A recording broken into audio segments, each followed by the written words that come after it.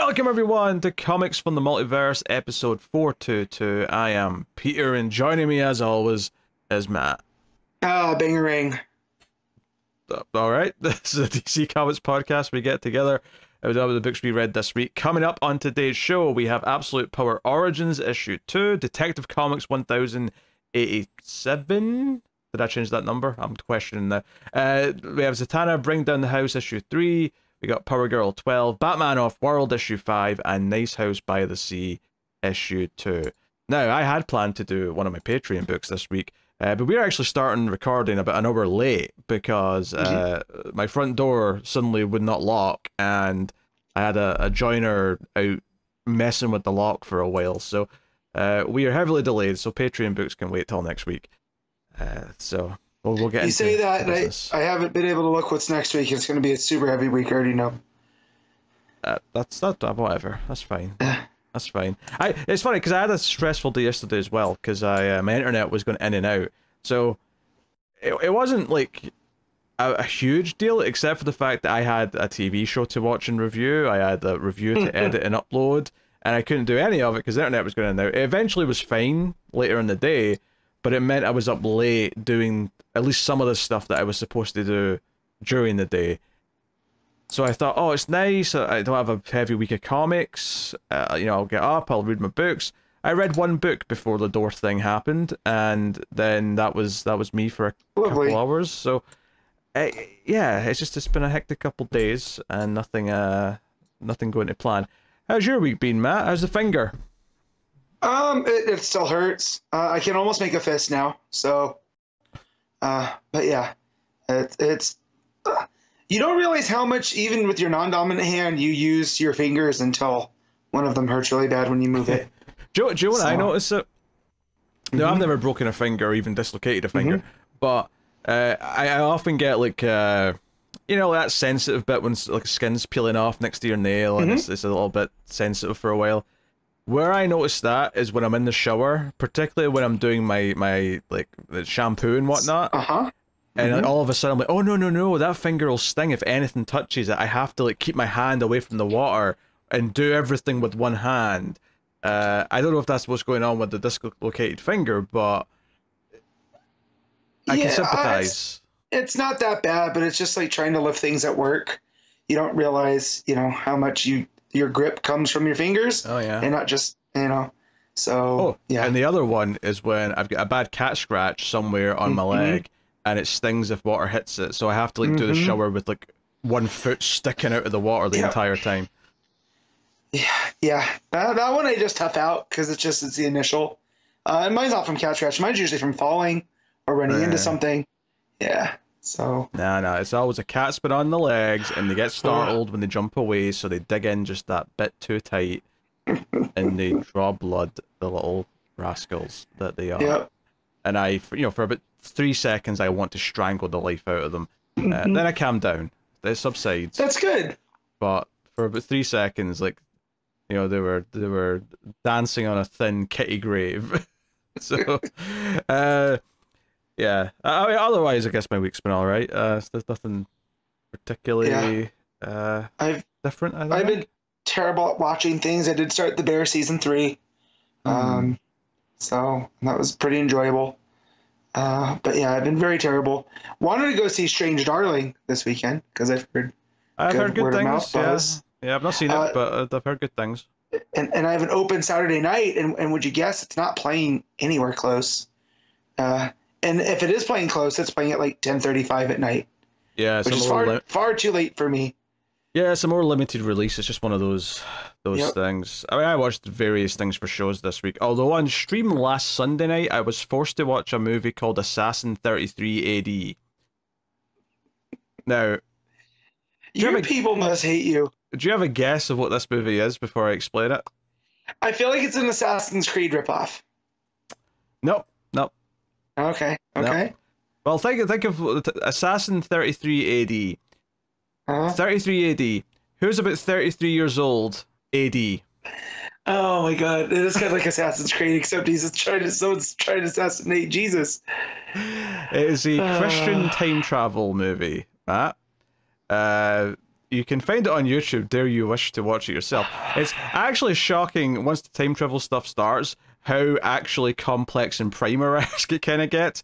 However, unlike Primer, this movie does not want you to be confused, so the main character constantly jumps in to narrate things to explain what's going on. So because there's like multiple trips of time travel happens, like, hey, do you remember the first version of that character? He's still left in that version of the timeline. So that's where we're looking right now. And then he'll say, oh, we're over here now. Uh, also, it was a little uncomfortable because all the villains were Muslim, and given that it was made as a Christian movie, it felt yeah, a bit weird yeah. and like uh, I don't know. Uh, but yeah, it was laughably bad in places. Honestly, if it was like 20 minutes shorter, I'd probably recommend it as a terrible movie to watch for entertainment's sake. But it's almost two hours, which is, you know, this is a bit, bit torturous getting through some of it. Even the director's initials are JC.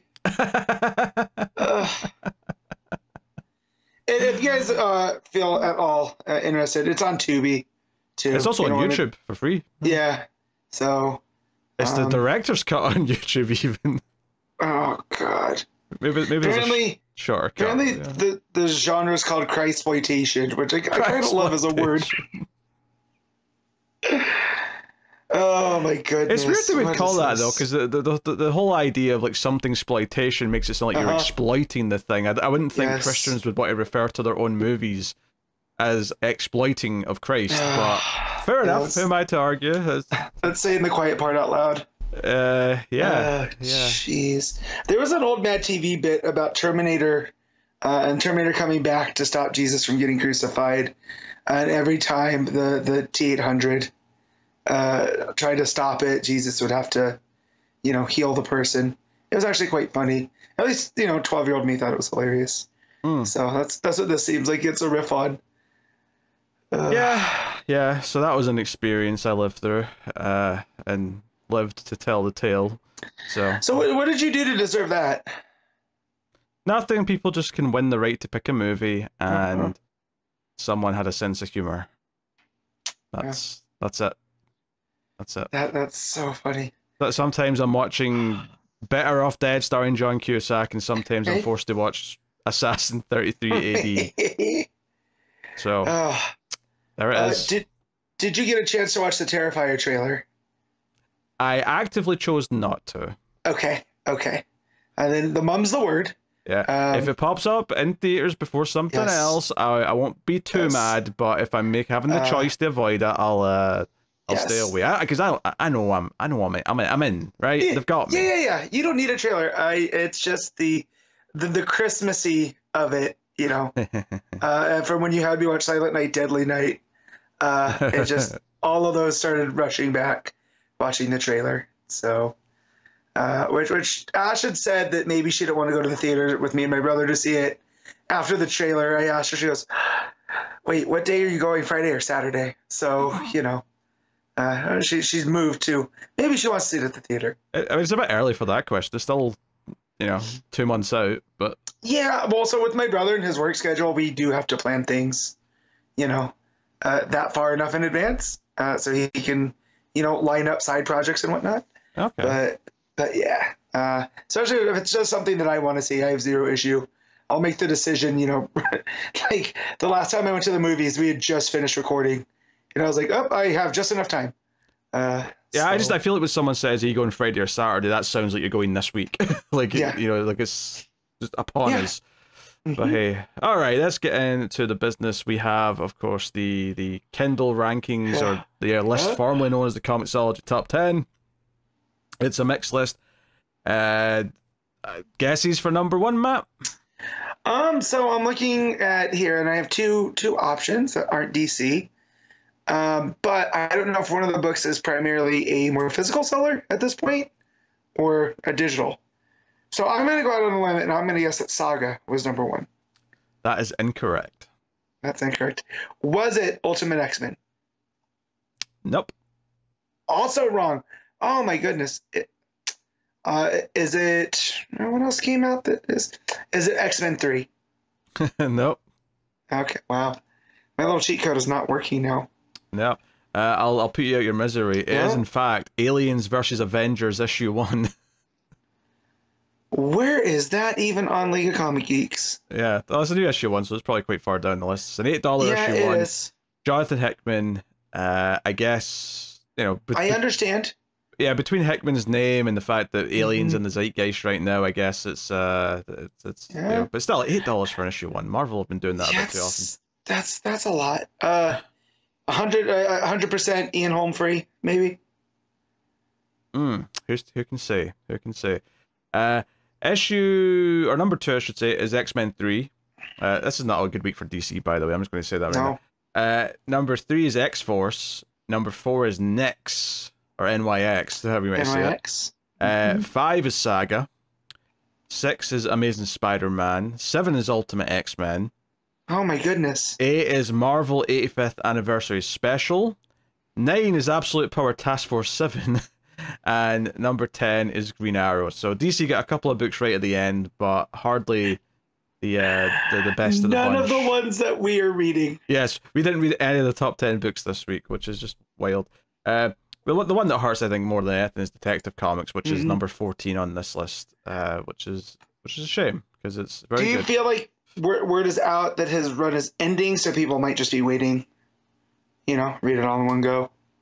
I don't know. I mean, it's it's never been like a great seller. At least if, it's Mhm. going by this ranking chart anyway. It's never been like Mhm. high up for for a Bat book. I wonder if yeah, people might check out his run when it's done because it is going to be this complete thing that you can read from start Uh-huh. to finish. But uh, for whatever reason, even when Detective's better than Batman, Batman always sells better. It's all, it is it's such a dumb thing, but it's almost like this one's called Batman, so I'll buy that Mhm. because it's Batman. I don't know what Detective Comics is, even though it's like I don't know, like It's the reason it's called DC. yeah, I Uh, it, it's really dumb, but it really does feel like Batman and Superman just sell more because they're called Batman and Superman, even if Mhm. Action or Detective are the better book right now, which is wild.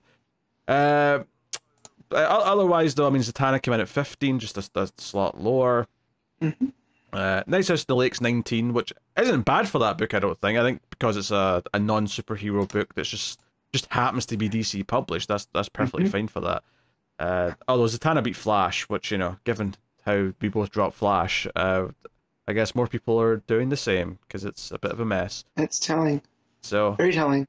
yeah, there you go. That's that's the rankings for this week. Uh, uh, I mean, admittedly, I was expecting Marvel to dominate this week because it is kind of a weird. Because mo- like most of my DC books this week were like, you know, mini series, Elseworlds, or you know, like n- very few of them were. Oh, this is a main big book, you know, a, a mainline thing. Mhm. Detective was really the only one. Everything else was either. I mean, you've got to tie into an event, I suppose, but the other stuff was all these, you know, Black Label miniseries and things like that. Yeah. So, uh, yeah, definitely a strange week uh, for for the rankings, but uh, that's not to say anything about the quality, which we'll get to Mm, um, yeah. momentarily. So, yeah, cool. Uh, but yeah, uh, no real news this week uh, either. So uh, we are starting late, so I don't mind this being a little bit of a shorter episode. So we'll Yeah. We'll get firing into the books. Absolute Power Origins issue two. John Ridley writing with Alitha Martinez on the R. So issue one of this was very much like how Amanda Waller started, and this issue is the first attempt at the Suicide Squad and how it goes wrong. It's, it's basically the story of how like we need a way to like control them that isn't just like you know money or like because this issue she kind of tries to inspire some of them even like she she Yeah. sits she sits down and she talks to this what's uh cyc cyclone No, Cyclotron. cyclotron uh and she's like hey you you could be special you could be better she you know the, the book starts with this whole speech about how superheroes are are dangerous and how they they present themselves as, as good and wanting to help people but after the justice league formed to take out this bigger threat then they're in power and we've lost our rights as a human race and blah blah blah blah. And basically sells them this big thing. But by the end uh, it's this character who's telling the rest of the team that hey amanda waller's feeding us a bunch of lies. Like we don't have to work for her. We could just not do that. And waller has to think on her feet. And basically her get out at the end of the issue is to say hey lobo you only care about the money i'll pay you double if you kill this guy right now which Yeah. he does but this guy's literally got a nuclear bomb inside him so tragedy Yeah, strikes so- and this entire city is decimated from this explosion So what I like though is it kind of is Amanda Waller in a nutshell, an absolute power in a nutshell. in that she is like, oh, these heroes make my life more difficult. They make everyone's life more difficult. It's only a false sense of security. Uh, and so she's, you know, priming up Cyclotron, right? And we find out that Cyclotron was um, somebody that went through a war, right? And then couldn't make ends meet. So he. Oh, no, something just fell. That wasn't even an Uh, animal doing that. That was just a ghost. Yeah, no. So, all right, I'm, we're gonna pause this real quick.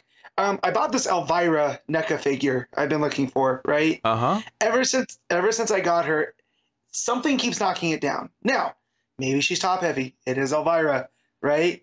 But every single day, she falls. Every day I put her back up, no matter where where I put her, how sturdy it is. So you say ghost jokingly, but I'm about to go get some sage, and we're gonna kick this MF out of here because I'm getting real tired of this. So she fell during recording last week, right? Uh, I don't know if anybody noticed, and now we just had this massive tumble. So it's really starting to piss me off, if you can't tell. So, and, and my poor cat now just took off because she got, you know, she was laying comfortably over here. Um, anyways, uh, starting back about Cyclotron, right? Um, he was in a in a war. He's a veteran, right? Oh, just a it. second. Do you want me to Yes. edit that out? Because I don't really feel like I need to, but you said pause No. this, so I'm not sure what I'm doing. I just was put that was for effect. Okay, know, sure. like, yeah, on you go. Keep you know, going. you don't need to. So, uh, Cyclotron War, right? Veteran can't make ends meet, so he volunteers for Hmm. the experiment where they put like kind of this energy in him, but he he really can't control the expenditure. So he's kind of just like this walking ticking time bomb. Um, and so I don't know how exactly how useful he was for the squad, right? But he's there, and Waller's almost using him as the wedge for the team, right? Because she's talking him up about how this is the real important work, right? You guys, you know, are going into this country, and you, know, if you have to give your life, you have to. But you already know that you were a soldier. So for him ultimately to not betray her, but to be like, hey, I know she's full of it. We need to take care of ourselves, right? She's just using all of us. I kind of like where that went. I like I like that it's kind of like a the the like the first attempt using the carrot just doesn't doesn't work right, and she has Mhm. to think on her feet, and it leads to this tragedy because obviously when Lobo kills this guy, he sets Yep. off a nuke.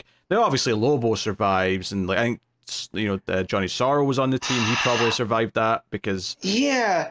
So I'm looking at the people that were on that team, and you had Johnny Sorrow, you had Emerald Empress, Doctor Polaris, Cyclotron Lobo. Um, is that how the green I- check? I, I was thinking Yeah. that was uh, what's her Fire? face? No, uh, who who's the villain in the first Suicide Squad movie?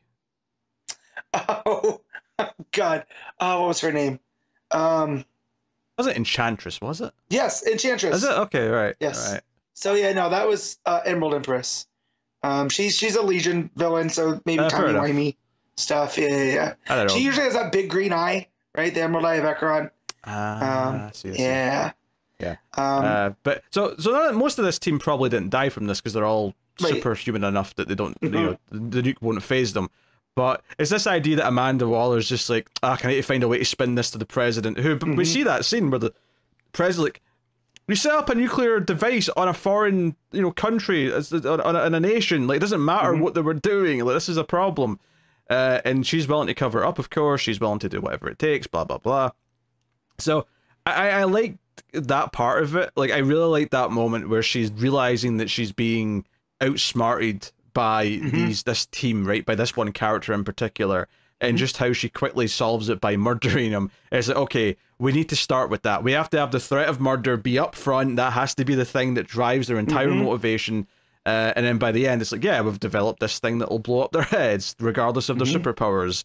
Uh, so, yeah, Yeah. I like all that. And then like at the end, it's the the Suicide Squad that we you know kind of know, right? It's your Deadshot, it's Yeah. Bronze Tiger, it's Boomerang, Enchantress. She's there in the corner. So I like that this was kind of the proto team, Yeah. right? That led to her having that idea, Because and she still calls it Task Force X here, right? It's Yeah. not. because I was thinking, uh, like how how how because because I you know before I realized oh this the initial team don't have the bombs in their necks, I was Yep. thinking, where's the bomb in sorrow? Because I feel like Mhm. there's no there's no neck to uh No. to, to, to put it in, but you know Also, I like to think that he was just there to cause chaos.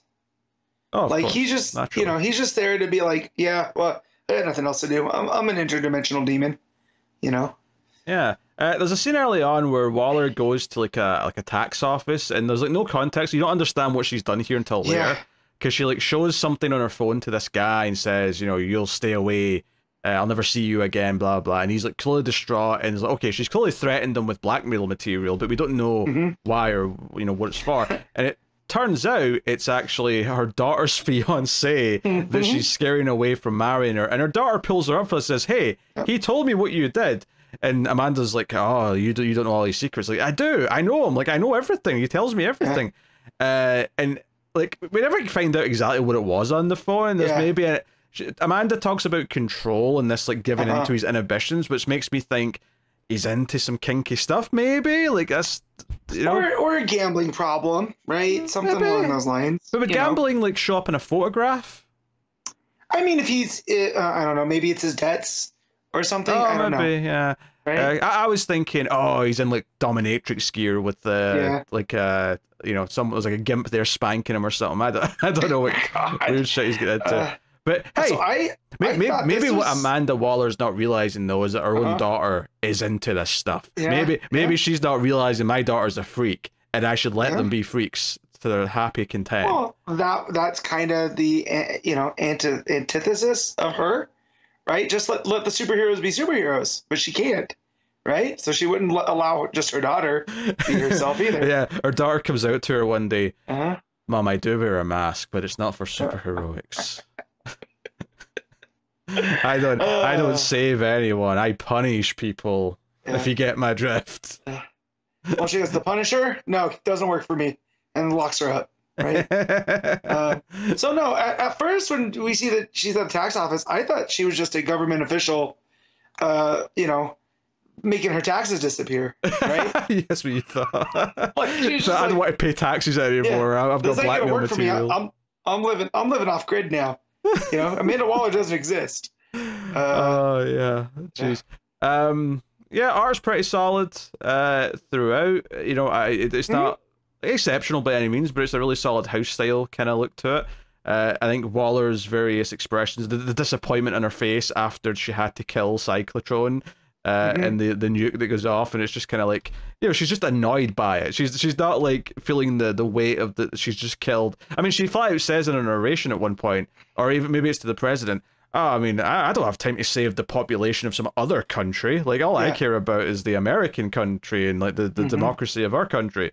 Um, you know, they obviously the entire thing is kind of like wrapped up in hypocrisy though, because I'm like, I don't know if this feels. You say you're saving democracy. I don't know if you did all this from the shadows and thinking you know you know what knows best is Yeah. that democratic. Quite frankly, Amanda. Yeah. But and that's always been Waller's thing, right? Because even in Checkmate, she would find herself at odds with the other side, right? Because Checkmate, you you had the the white team, and then the, you know the so you had like the white knights and the black knights and all that other stuff. And a Waller Waller was always on that covert team, opposite of of like Alan Scott or whatever. And it was the same argument here. Everything that I do in the shadows justifies democracy. And you know, Alan Scott would be like, I don't know if it does. We kind of fought against that in World War II, you know. Mhm. Uh, and so I, I do like that. It seems like Ridley here really is getting at what makes Waller tick, and he's just driving it home with you know, even further here now that she's doing government work. Yeah, it's the same with her kids. Like, you know, she she promises her daughter she won't become this monster that her daughter thinks she's becoming. And then she immediately says to the president almost in the very next scene, I lie to Mhm. my kids. I promised them I wouldn't be a monster, but I'll be whatever Mhm. it takes. Like the way she Mm-hmm. treats like her daughter's fiance is exactly how she treats superheroes. She's like, This Mhm. is a problem I have to solve, even though no one else is saying it's a problem. So it's yeah, it, like I don't like this issue as much as the first issue because I think Mhm. the first issue was more of a a really strong character building issue, Yeah. whereas this is a little bit more oh the first attempt at the Suicide Squad. So this is a bit more, I guess, Mhm. normal by comparison, but it's it's still doing some interesting things with the character. And it definitely feels Yeah. like Amanda Waller Morgan into her prime is what we think of her as. Yeah, and I it's also though I like that you look at her and she's a woman that's had to take stuff into her own hands, right? Like she cannot trust anybody to do stuff for her. Uh, and, and even here, like yeah, she she put the the Suicide Squad there in that country, right? But when things got out of control, she took it back. uh, by having Lobo kill the guy. So you know, she's she's a person that I don't say does, isn't afraid to get her hands dirty, but she's not afraid to get dirty hands to solve that problem. Uh, and I like how here it it showed that by her going into that country that felt vaguely familiar, felt like a very vaguely northern Korean country. Um, so well, what was it? I think Lobo called it some vaguely communist yeah, or something. Yes. I don't know, something like that. but they they had called the leader the Great Sun, and I know that that is a term mm. that is used over there. Um, so yeah, it shows well, that she's. That was the, the the team of the villains, right? That was the. Was that? Is that what it was? Yeah, yeah. The villain team was called the Great Sun, I think. Oh, okay. Which don't get me wrong, it's probably a reference to yeah. that, but like, well, no, it says yeah. I, I send them to well, that was a North Commie or whatever, home of the dictator. His people called the Great Sun. So okay, that's okay. yeah, yeah. But that could also have been the team as well, right? You know. No, no, I um, think you're right. I think you're right. I think I just I, I was remembering it incorrect. I think you're yeah. I think you're getting them with the Great Ten, just having Great. I think that's what I'm thinking their, of. Yeah. Yeah. Uh, but but no, I like that and the fact that she's like, yeah, no, I'm a monster and I, am fine with it. I, she has zero I, qualms with any of this. I also like the idea that like that little moment of desperation when like because you know the comms go off and she can't hear yeah. what they're saying and she's like panicking like I need to hear what they're saying mm-hmm. right now. Like I think that few seconds of uncertainty is why like oh they're going to have bombs in their necks forever now yeah. because she cannot live with the yeah. idea of not being in control for a 2nd mm-hmm. uh, so it, it does kind of paint this idea that I'll be I'll be very satisfied to see how she gets taken down by the end of absolute power. If she even does, mm-hmm. maybe it'll be more maybe less of a she just straight up loses and more of a kind of a sideways mm-hmm. kind of like the heroes stop what's happening, but maybe Waller has something else out of it by the end. Yeah. Yeah. I don't know. We'll see. But, mm-hmm. um yeah, yeah, I saw a tie-in issue to be honest.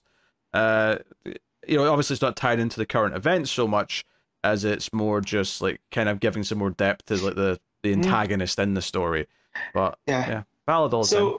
So this led me down a like a, a bit of a because I don't know much about the Suicide Squad. I've never really read those old issues by Ostrander, so I started looking into the history just to see if this was referencing anything like that. Because I know Ridley uh, has done that in the past, where he's used you know uh, storyline stuff to add to like in-world continuity yeah. or in-world timelines.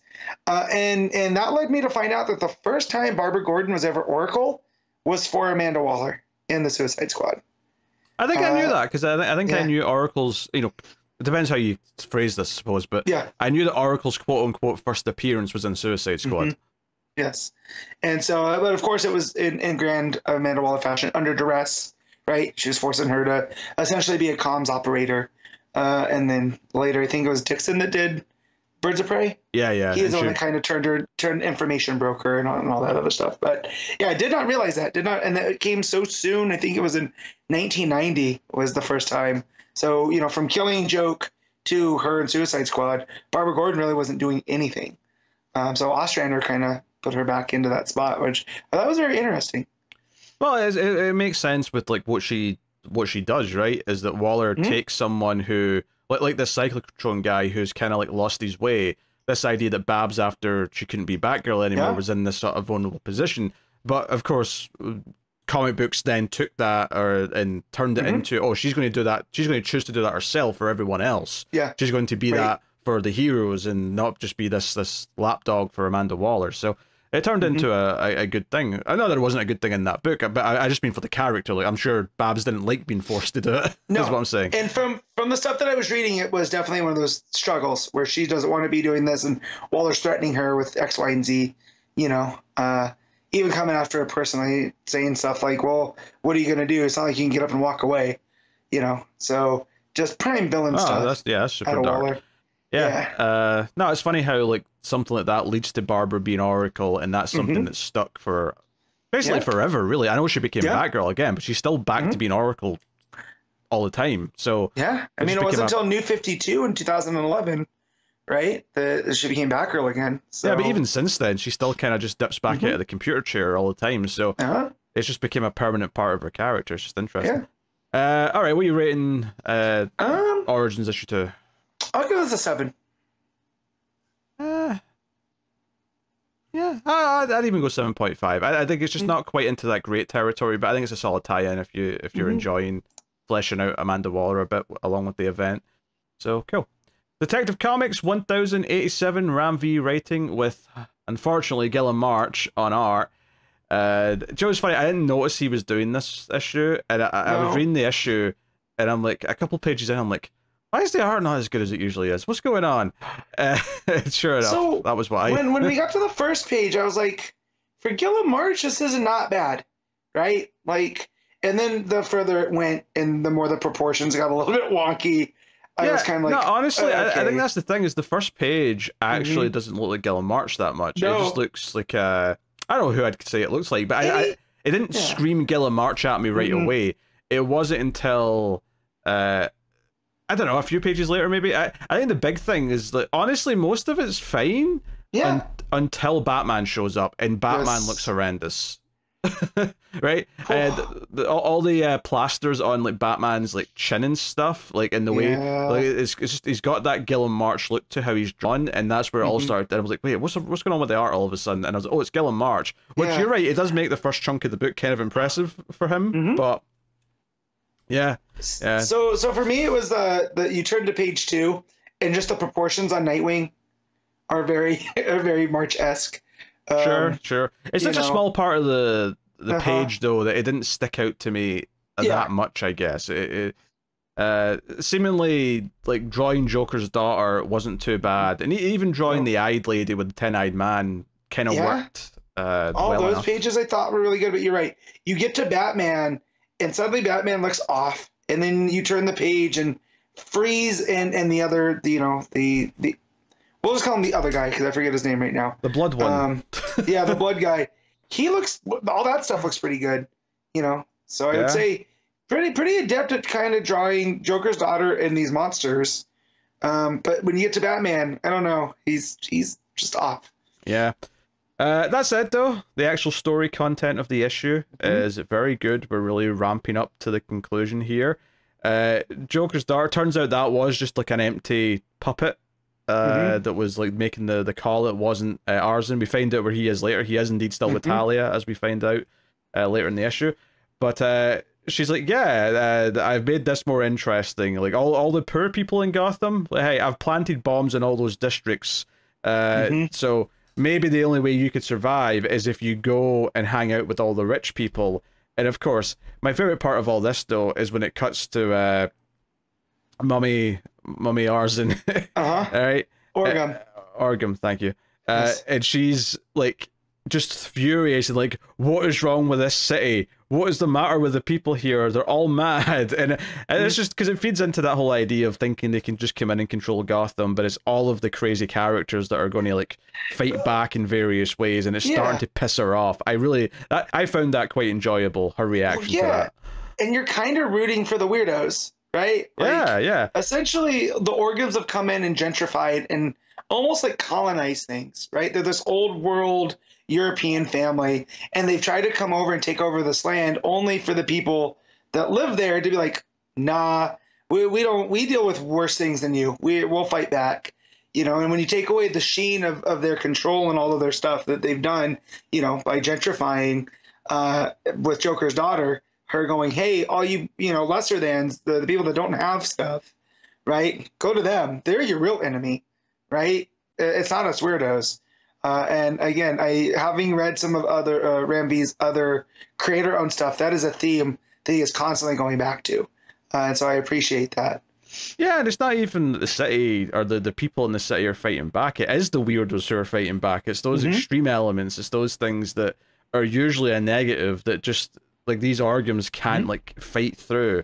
And Yeah. this this actually probably did the best job actually of like separating all the various like soldiers she has because Yes. you know because it does it multiple times where she's like, hey, where the hell is? In this case, it's Shavod's the first one, the eye lady Yep. and uh you know cut to ten-eyed man being like those aren't real eyes they're just painted on your mask i've actually got 10 eyes and starts messing with her with his powers and like you know obviously it's not a literal thing that happens but the the visual Yeah. art of like him just prodding her eye and her entire body just like shattering into pieces Yeah, and I love that page. is probably some of the most that I've ever liked Guillem March because it does it her shattering in that way, and just you know the mess of it it is, and with the way that Ten Eyed Man is drawn, almost Spider Man esque, right? There's a, a lot of motion in, in his form.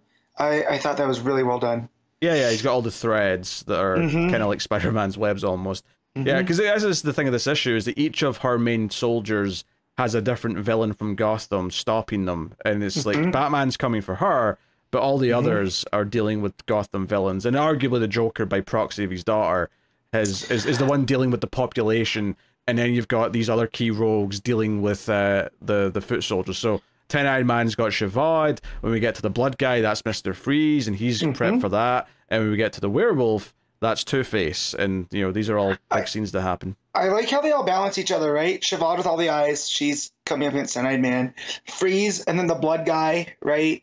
You know, you, you could say that there's something to do with, you know, uh, not necessarily the blood of, of Mr. Freeze, but, you know, there's something in him that, that is different too. And then Oh well, the, the, I think what you're getting at is that the blood guy literally controls his te- blood temperature up and temperature. down. So there there's we a, go. there's Yeah, a yeah, temperature thing, uh, Right, and then and then- with Two Face, you've got the idea that you know The- werewolf is literally two, yeah. duality. yeah, two people. It's two personalities, if you will. Yes. So- and so I like how they split all those up, and those it makes for some really horrific, in, in like in a good way, Yeah, yeah. uh, events that occur. Yeah, so Batman's like storming the, the I think it's the prison where uh uh the ar- leader Mummy Orgham is. Yep. And you know, we go back to Mr. Freeze and this you know, the at first he's in the ice, uh the, the Mhm. villain. Um yeah, uh, I'm looking for his name because I saw it and I was like, oh, that's, Niang. that's what it is. it's Niang. Niang. That's right. Yeah, it's, it's, it's the page right before uh, it cuts to him. Uh, but he breaks out the ice and is like, hey, I can control my body temperature and my blood. And then it turns out Mr. Freeze accounted for this because he didn't know which of the villains was coming for Mm-hmm. him. So he prepped for all of them. And his prep for him is that there's something in in the in the ice that when Uh-huh. he hit he, he heated it up with his body, it, it he ingested it and it's actually now coagulating his blood. So now he can't use his like fancy blood powers anymore Uh-huh. and he's lying there in a pool of his own blood, just kind of like freaking out. Technically not dying, but because this is the same with you know the next scene's uh, Two Face and the werewolf, Mhm. and I do love this that like the werewolf's got him pinned, and Mhm. Two Face is like, well, I'll just have to you know sacrifice one of myself, and he shoots through himself with the silver bullets to take down the wolf. But he only does it on the Harvey Dent side, which is really Uh-uh. funny. But he does have a good reason. He's like, hey, technically the heart's on my side, so Yeah. this was more likely to keep us alive. I do love that because the shock, right? Because um, Ten Claw, the werewolf, is is like kind of he's already celebrating that he's won. Yep. Right? He goes, I, you know, I've eaten some silver, but it'll take more than a gun-toting gangster to take me out. And he goes, huh? Nah, nah I know, no, I, I used him as bait. And he goes, who? And then he shoots through himself. yeah. All right. So Two Face isn't even, you know, saying that he used himself as bait. He used Harvey Yes. as a bait. Um, and just It's a great you know, him moment. shooting through himself. Yeah. Yeah. It, it might be an all-time Two Face moment here. Yeah, uh, he tosses the coin if he should finish the job, and it- it lands on tails, uh, or equivalent.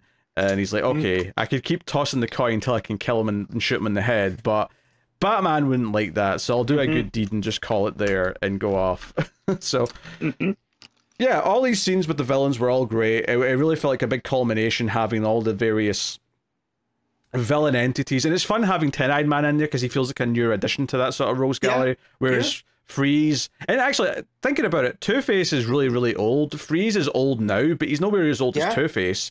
And then Mm. Ten Eyed Man's a pretty new addition to the Rogues Galleries. At least it feels that way anyway. Yeah. So, Well, it feels so- it feels like a nice spread over the you know three of them. Yeah, and this version of Freeze especially because this is more. I feel like this is you know Heart of Ice uh, style Freeze, right? Yeah, Where I you mean- kind of got that gravitas. I mean, e- e- Uh, ever since that animated series, like that's Mhm. kind of for the most part the Mister Freeze we've had in the comics is, is kind of based on that. So yeah, it feels like almost different eras of Gotham coming together, as well. You know. Yeah. So Batman's fighting uh, Mummy Orgham. Uh, She's very pissed about all this, and she's like, Mm-hmm. By the "Look, way, her name is Jiraiya. "That doesn't even sound familiar." No, but but it is. Uh, 'cause I just sure. I, Okay. I pulled her up on League of Comic Geeks. So yeah, like Batman's fighting her, and she's like, "Look, this is not exactly all went to plan, but you know, like this chaos will still give us results we want because we're switching to fear now anyway. I've got Jonathan Crane hooked up to the reality engine in there, pumping fear throughout the city. So even if it's not how we originally planned to do this, but we're adjusting for all all the crap that you're throwing at us, mm-hmm. the city's just going to have to be controlled by th- fear. And the end of the issue is, you know, she's broadcasting stuff out to the wor- uh, to the city to and cause panic, and she herself transforms into a big double-mouthed monster of some kind. Yeah, do a something. I, I don't even know what to call this. It's it's very uh hmm, it's very it's very HR Giger, I'll say. Yeah. Down down to the double face, you know, that resembles something else, maybe, with teeth. you know. well, it's double. It was more just the skeleton though made me think of Giger. Yeah. It was making me think yeah. uh, more less alien and more species. If you've seen that mm-hmm. and how mm-hmm. how Sil looks in that uh, in her okay. natural form, I was getting a little bit of that, but def- definitely a creepy, monstrous uh, visual. But it definitely feels like we're building up to the the big climax here. Yeah, for sure. Um, yeah, she's that, that she's icky man, the the what she was revealed as, even worse than any of these other creatures that, that we've had. You know, I thought the blood guy was kind of gross just because the stuff that he was doing with the blood. You know, it was almost uh, Cronenbergian yep. there. Uh, but here, this one just is like, yeah, uh, really good stuff though. I, I, I mean, like, actually, when you I, think of it that way, like the the three henchmen plus her, you've got yeah. very different types of horrific images. You've yeah. got the sort of surreal with the with Shavad, right? You've got that mm-hmm. sort of like David Lynch almost like this yeah. is all not making sense. It's very abstract. And then you've got a werewolf, which is a very classic horror movie. Mm-hmm. Uh, you've got the blood guy, who's a lot more like body horror, like you say, Cronenberg esque. Mm-hmm. And then you've got this, which is a, a lot more kind of cerebral, like like monster design. That's they're all very yeah. different, like types of of, of mm-hmm. horror entity. That's kind yeah. of an interesting choice, actually. Now that I'm thinking about it. Yeah. Uh, it makes for a, a nice mixed uh issue yeah. of of, of so, chaos. So a good friend of mine's getting back into comics now because he had questions about Absolute Batman and he thinks the design's real stupid. And then as we were talking about it, he goes, "Oh, wait, you do a weekly show. What, what's been good over at DC?" So I, I've been giving him a list of stuff, and you know, he's just he charged through Green Lantern because Green Lantern was one of his characters. Uh, and he's asked what else, and so I, I, recommended a bunch of Ram V, and he just kept seeing that name. He goes, "Who is this guy?" And I was like, "Well, you have to read and find out." Um, and so I, I sold him uh, Detective Comics as the next thing he's going through. So I'm I'm very curious to see where he goes uh, with, with, all of this. Hmm. Um, because uh, I all I sold him was kind of the, the broad strokes of the Orghams coming to Gotham and trying to take over and what that means for Batman. Um, and so yeah, he's in. And then if he likes that, he has Swamp Thing lined up, which I'm very excited for because any chance I get to talk about that Swamp Thing book, I do. So, um, but yeah, Ram V here again, stuff of nightmares, just like with Swamp Thing. Speaking of, you know, like when when we got into those creatures uh, and those designs, uh, he's he's really good at this. It's an understatement, honestly, but mm-hmm. uh, yeah. Uh, no, I mean, story wise, this was a great issue. It felt like, much like last time where I said it felt like everything was coming together and paying mm-hmm. off, this still felt like that. This felt like a lot mm-hmm. of payoff to everything we've been doing for about a year and a half or whatever it's been since uh, all this kicked off. But the art is a little bit of a, a detriment. Not the entire issue, surprisingly. Yeah. Like some pages are actually pretty decent for, for at least yeah. by Guillem Marchie standards, but it is definitely a step down and that's a bit of a shame that it's just kind of slotted in here right towards the end. We've got this fill-in mm-hmm. artist that's not anywhere nearly as good. But yeah. Uh, with that aside, though, certainly still a lot to like in the issue. So, mm-hmm. uh, what yeah. are you rating Detective Comics? Um, primarily for the story. Uh, I'm gonna give this eight point five. Uh, yeah. Oh, there's a backup actually. Yeah. before I was gonna say, are we gonna get the backup too? Because yeah, yeah, yeah. No, I read the backup. Okay. The backup actually yeah. is quite important because it's uh, mm-hmm. Presumably going to come into play in the the last part of the story. Uh, so basically, yeah, it's uh, Talia uh, has mm-hmm. got uh, Arzen, and she has him in like a, a big test tube, and it's basically saying, "Hey, the Lazarus pits are gone." But for years, the League of Assassins have been has been trying to do it artificially, like trying to mm-hmm. synthesize mm-hmm. Lazarus juice, and mm-hmm. can they pull it off? And seemingly, for the first time ever, they have. Like, you know, she spends a lot of time talking or narrating, and then eventually Arzen wakes up and is like, wait, my mom killed me. What's going on?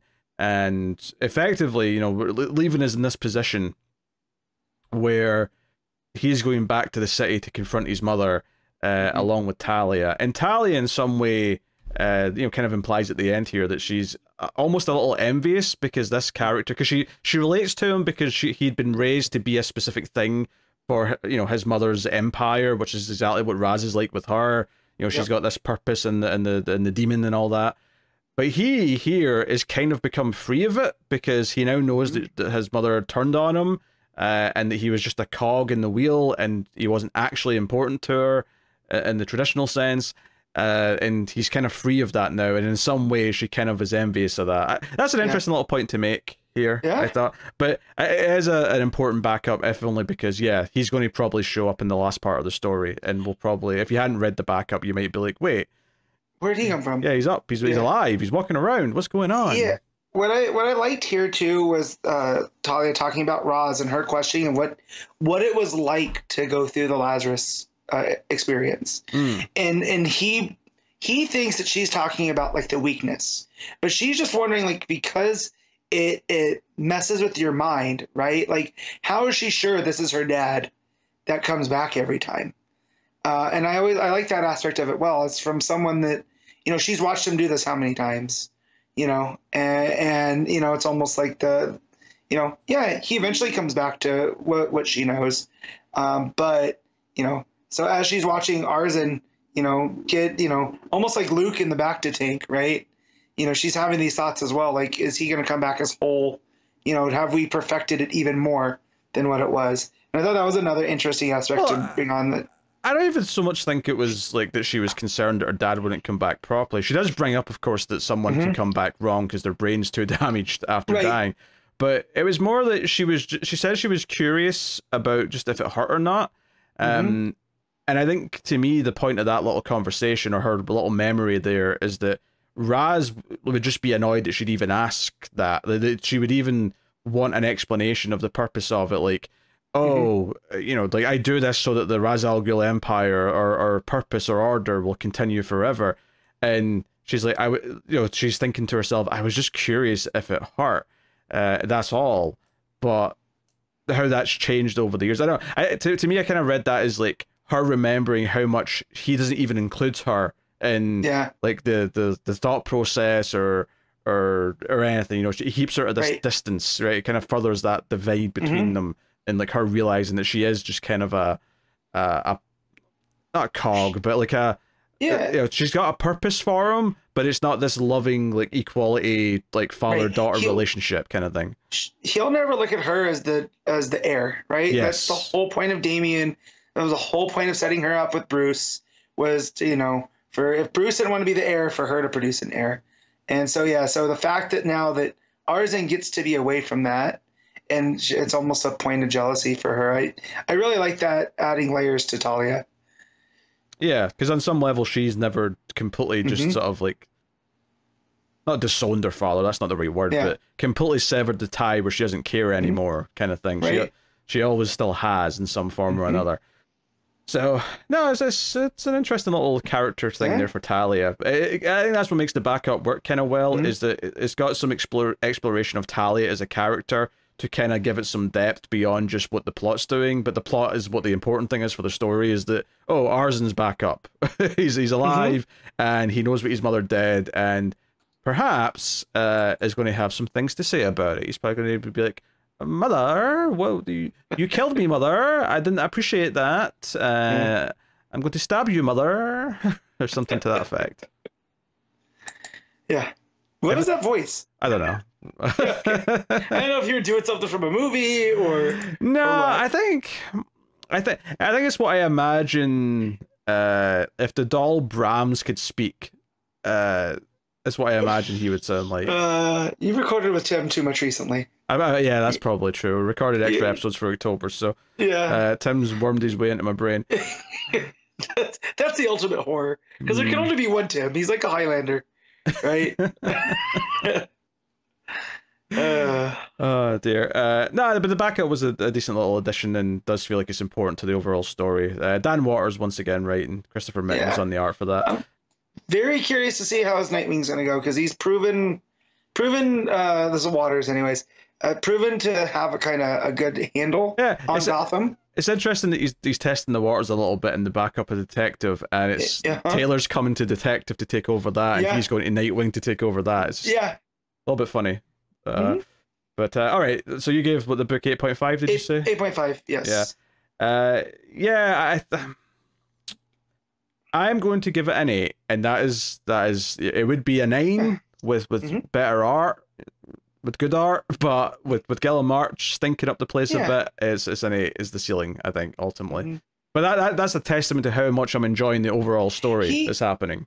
He must be like one of the like funniest and well-meaning guys because there's so many top writers that that work with him and have nothing but good things to say. oh yeah, know? he- he must be a gem of a human being, but I just do not like his art. Yeah, it's just one of those things. Where it's like I'm not a fan. There, there are like wrestlers like that. Like I'm sure you're great. I just don't want to watch you wrestle. Right, there's there's, there's directors like that. Like like Yeah. Guillermo del Toro seems like a lovely human being. I just don't like his movies. Yeah, that, that that's good. So there you go. Uh, all right, what what, what we get on to next here? Let's have a look. Uh, Zatanna, bring down the house. Issue three. Mariko Tamaki on the writing with Javier Rodriguez on the art.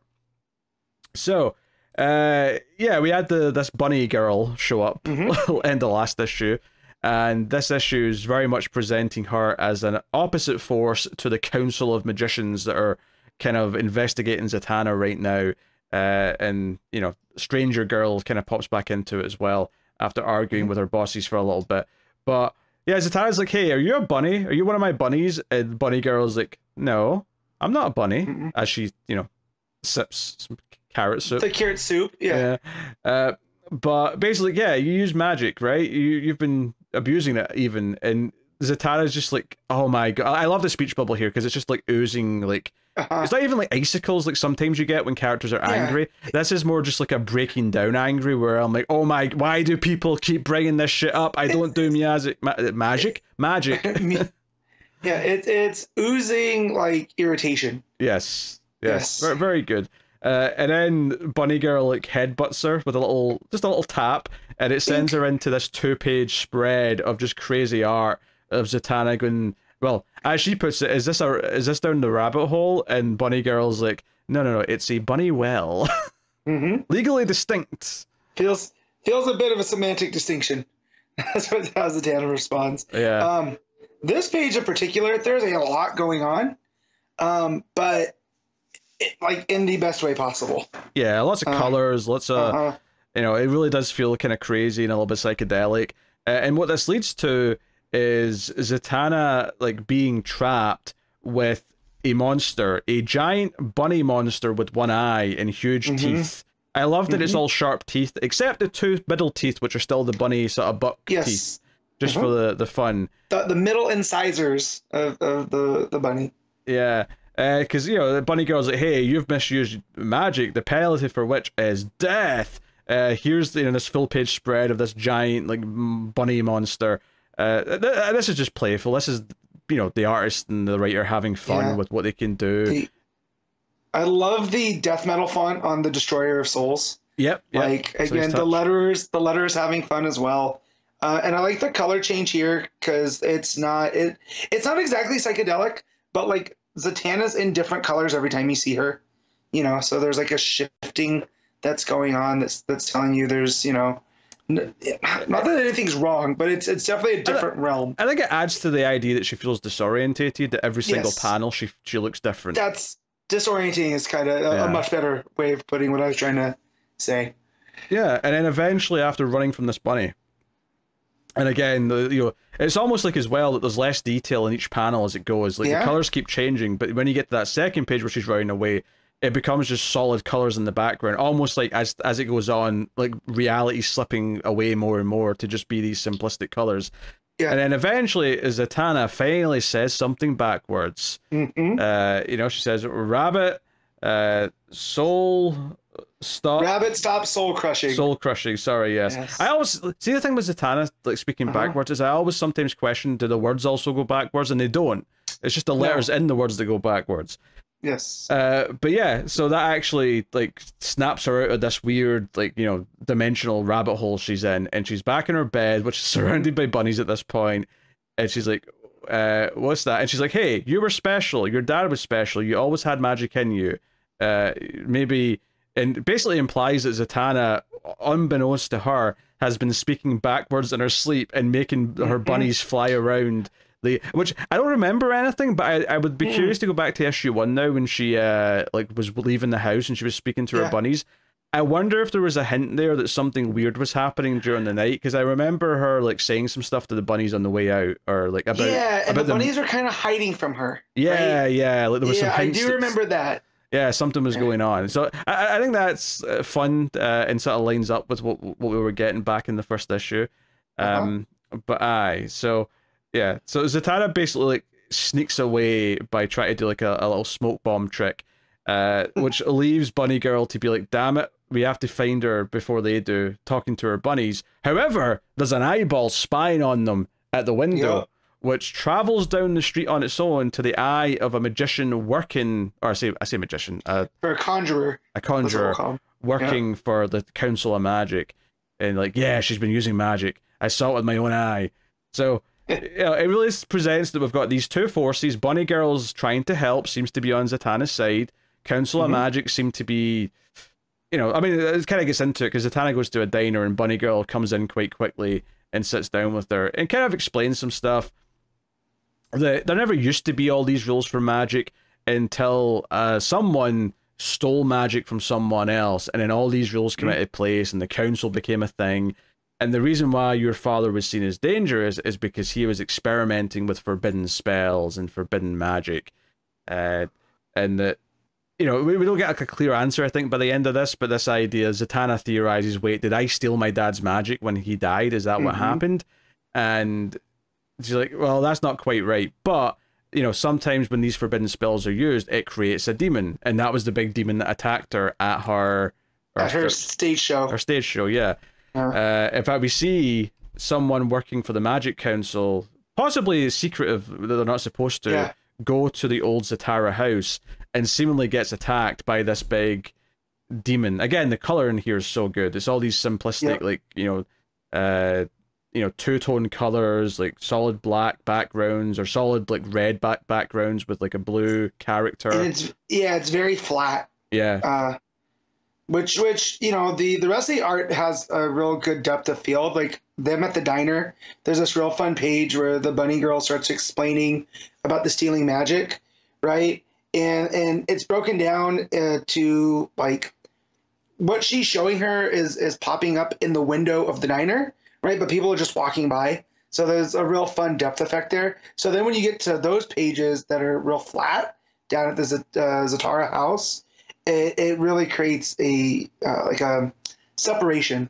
Uh, yeah. uh, it, it really here. feels that we're in a different like place in the like a different type of world like it's some, Yeah. something where like other things are happening like more supernatural things uh, so after explaining all this there's a tease of someone who's going to pop up at the end who i did notice i did notice the trench coat at the Yeah. diner you know he's from the back it's clearly constantine who you know Yeah. the, the cliffhanger at the end's him kind of revealing himself but uh yeah stranger girl shows up and is like hey Zatanna's coming with me. She's been uh, stealing magic from from things or people from people. And Bunny goes, "Oh, you're so wrong. Do you ever tire for being wrong?" So these two start arguing. It's like, okay, we've got these characters from the opposing forces. Zatanna's stuck in the middle and doesn't know what to do. And then the end of the issue, the waitress says, "Hey, here's the bill for the food." And Zatanna's like, "I didn't order any food." It's like, "No, but the guy at the counter said you had his." Uh, and sure enough, it's Constantine. And to be fair, she did phone someone earlier in the issue Yeah. to ask for help before she went to the diner.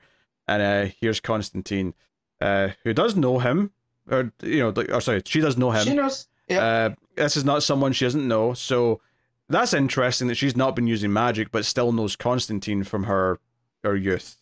Uh, yeah. Curious to see how that's explored And- next issue. And the way that he calls her Z, there's clearly a familiarity there. Yeah. Uh, he just he has a nickname for. Um, yeah. Um, when when they're talking about Zatara and how he was kind of like this wonderkin magic user, right? It Yeah. almost feels like it's a like I don't know. They're blaming him for something that had gone wrong, right? Uh, and I'm wondering if that is ultimately what he was trying to undo and that what led to his death and Zatanna ending up with whatever. Because I'm feeling like Zatanna didn't steal the power; he found out how to bequeath power. Because it feels very much like this this Council of Conjurers are all about magic and maintaining their order, right? Because they have to have the rules and whatever, and they don't want people to be able to make you know they want to be able to bequeath the power, not for people to decide to hand it out. So I'm almost wondering if that's what Zatara had done and it kind of backfired uh, and had created that demon and all this other stuff, you know, because Zatanna wanted to learn magic. She had that thing there. Um, and I'm wondering if that's why Constantine's there too, because that's the kind of stuff that he's really good at handling, is the stuff that gets out of hand, you know, and maybe that's why he kind of maybe helped coach Zatanna along the way now that Zatara was gone uh, uh, because this feels almost like, you know, from from your favorite show, Buffy. He almost feels like Giles here. I mean, I don't know if I got that. I mean, if if anything, Constantine's similar to Spike, just in general. no, I, what I mean is it almost seems like not just a mentorship, but almost like there's a.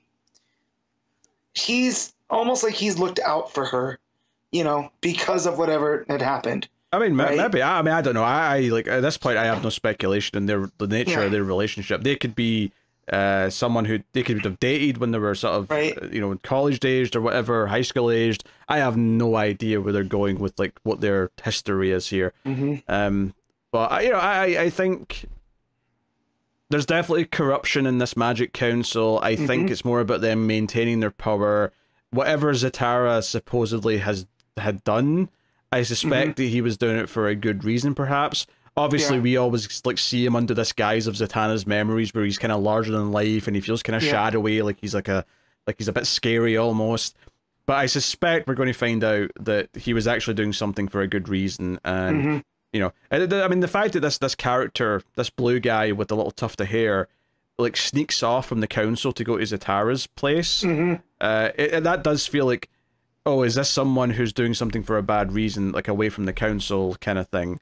Uh, mm-hmm. Obviously, he meets his demise in the flames when this big demon attacks him, but uh, it does feel like, oh, there's more going on here. Someone's at fault, and I suspect we're going to unearth like some bad stuff that the, this council's perhaps hiding. Yeah, and like their whole like quest for power and like covering things up is all about covering up something they've done to maintain their power, as opposed to oh, you know, people were actually doing something bad with magic. So yeah, uh, it feels very much like Nabu, right? That we've gotten in the past, and the Lords of Order, that kind of stuff. Aye, so, that Nabu, not not the stupid city in Star Wars. No, I'm not. I'm talking about the prequels.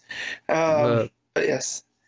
Uh, but yeah. Yeah, no, I mean, once again, uh, the art is, is very good. It gets super uh-huh. creative, uh-huh. both in the, the sequence where she's running from the imaginary big bunny monster, but mm-hmm. also when it's doing the stuff of that that sorcerer going into Zatara's place and like all the all the birds flying out, going up the mm-hmm. stairs. Mm-hmm. It's a sort of really pulpy horror story that ends with this big ridiculous demon coming out and and killing them.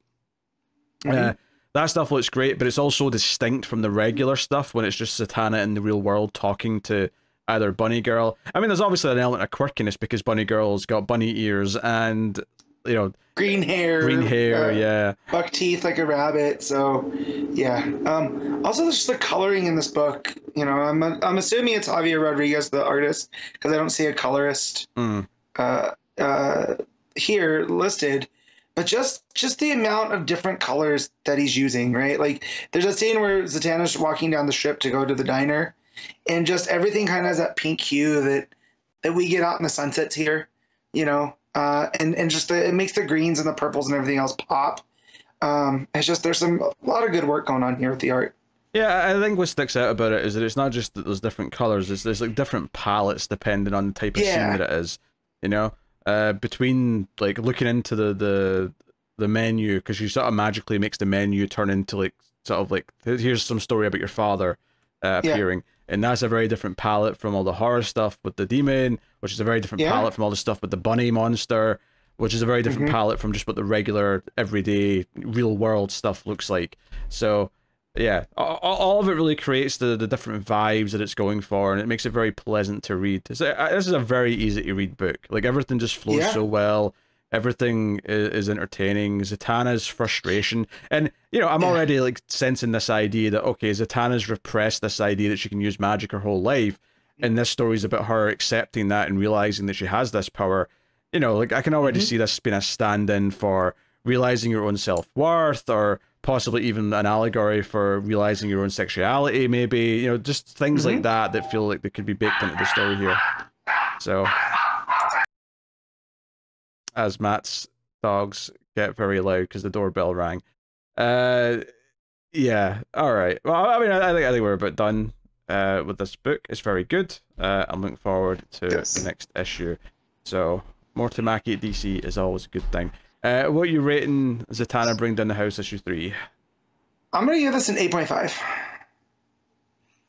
Yeah, I find it hard to to argue with that. I'm even tempted to even bump it to the nine, but I'll I'll say eight point five. Yeah, I was thinking about that too because it, it, definitely feels like a middle chapter. I liked everything that I read. I just don't want to be over exuberant on it, right? So we'll see where this goes. All right. Power Girl issue twelve. Leah Williams writing with Travis Moore mm-hmm. on the art. Take it away, Matt. Yeah, so we're uh, we're getting um, uh, Power Girl and Valhalla. So uh, Paige Paige goes with Axel, right? And they're walking through the woods, and all I could think of was this feels very familiar. And they come across, you know, what looks like Asgard from from you know uh, mythology, and they come across this gigantic tree, and there's this little squirrel with with you know like a horn on his head, running around, and uh, turns out it's it's Ratatosk, the the keeper of Yggdrasil, which is a world tree, from uh, from that Wonder Woman run with uh, Conrad and I always forget the, the lady's name that wrote, right? Um, and yeah, so it turns out that Axel's kind of like this Indiana Jones for the Asgardians. When there's something that the gods, you know, thought was a good idea, but humanity can't handle, they send him to go bring it back. And so here, Kara meets uh, Ratatosk, uh, who is obsessed with her golden hair. Um, and uh, there's this gigantic battle going outside the hall, and Siegfried's there, who is running around with Wonder Woman in those issues. Turns out he's Axel's cousin. Um, and uh, yeah, so so Kara starts asking what, what's what's with this battle, and this is the essentially what they do in uh, in Valhalla. Uh, that every day they they die, they well they fight, they die, they they feast and then they do it all again. Uh, and it definitely it's the afterlife for for warriors. Um, Kara seems to be really good at this. She knocks down a whole bunch of Vikings, you know, with with her, her superpowers, uh, which then you know gets Siegfried looking at her and you know kind of flirting. Which Axel's like, "Hey, are you flirting with my date? Because you better you know not." Uh, and Siegfried's like, "Hey, I'm just saying you you have you know uh, you have good taste." So they end up in the hall eating the dinner, feasting, and Kara notices, or Kara, Paige notices all of these uh, like different animals, and this is where it got a little bit uh, like heady. Uh, well, not even heady. It gets a bit more more serious here. Is that all of these animals that you know that aren't exactly at the feast, they're they're not eating, but they're around the periphery they're all like these guardian animals that had given up their lives for what they had done, right? So uh, there there was a, a rooster that a, a, raccoon attacked the uh, the flock of chickens and, and he died saving them. You know, not a chicken was lost. Or there was this uh, this dog that's sleeping on a bed named Roxy who died protecting her owner from a black bear.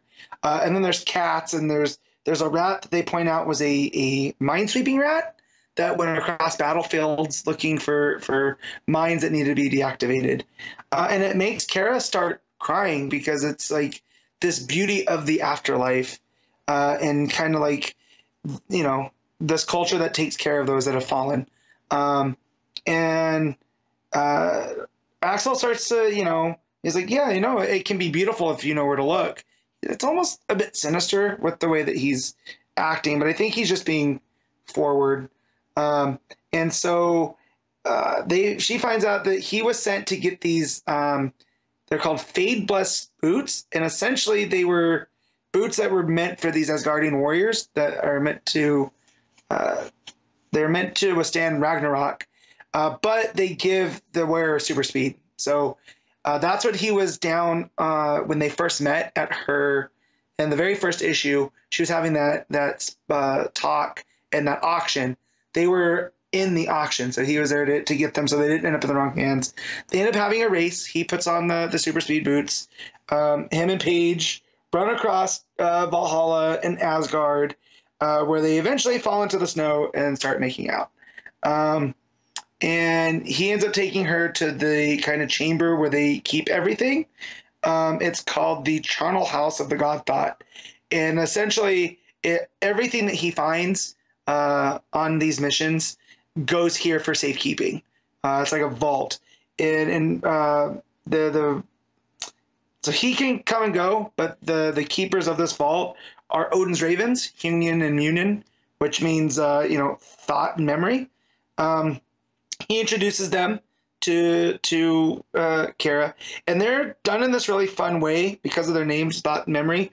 Uh, they're the outline of ravens, but uh, the outlines are filled with words, you know, uh, and those words change from page to page, which is really cool.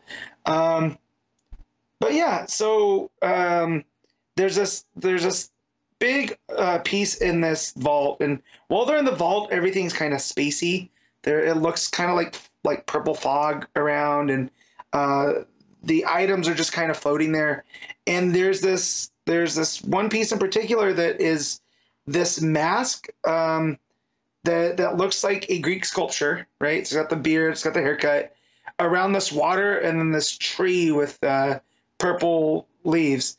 And uh, Paige asks, you know, what it is, and Axel explains it's called the Mirror of Mimir, and it's uh, a scrying pool, but it's you know it only deals in secret knowledge. So Axel's like, you can ask it anything to show how it works.